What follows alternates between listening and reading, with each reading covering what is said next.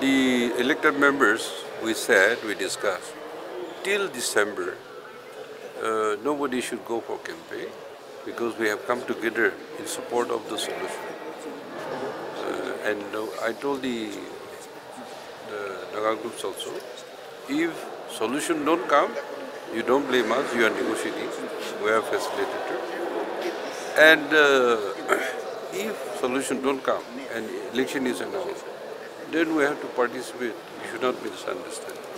And that uh, talk, uh, people have come back from Delhi, so I think uh, before Christmas nothing may happen.